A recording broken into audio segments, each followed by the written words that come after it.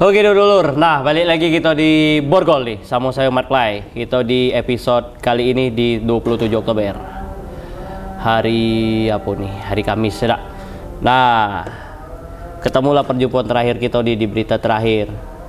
Karena kita tengok juga Bang Jack tidak ada di lokasi, katanya ketangkap polisi. Kemarin ada Pak Bolda datang kan, nah lantak lah situ Bang Jack ketangkap. Karena dia tidak pernah ganti baju ya preman-preman tapi kere. tapi ini berita terakhir nih dulur ada penemuan buaya sungai. Jadi warga di geger buaya tersangkut di pompong Batanghari di daerah Batanghari itu.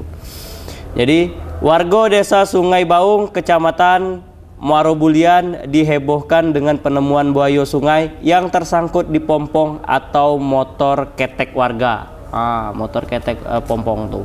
Jadi warga menemukan buaya tu. Kayak mana kita tengok buaya jo ya? Ini dia buaya jo. Beginilah suasana mencekam yang sempat menjadi tontonan masyarakat desa setempat saat menemukan buaya sungai yang berukuran kurang lebih satu meter setengah yang tersangkut di pompong. Penemuan buaya tersebut merupakan kali pertama terjadi di desa Sungai Baung.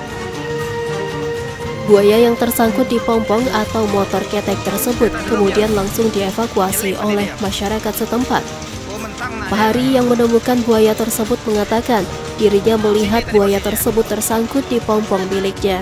Dikatakan Pak Hari, buaya tersebut diketahui sudah tersangkut sejak malam, namun baru diketahui pada saat dirinya hendak berangkat kerja. Penemuan buaya tersebut sudah dilaporkan ke pemerintah desa Sungai Baung rantai itu aja di. Oh, ke rantai. Berarti dia naik dewek itu ya ke atas tuh. Ada lah di situ. Ah. Dia langsung langsung dia banyak loncat lah. Atau dia kan itu Ah. juga apa ini laikan Ya. Kondisinya sakit tak? Kondisi Ya. buaya. sehat. Iya. Ini penemuan buaya ini sudah kita laporkan ke pihak desa. Ke Apa ber berbeda tu. Oh, tadi dengan TNI tadi sudah tadi ya. Jenny Firdaus, Cek TV, melaporkan.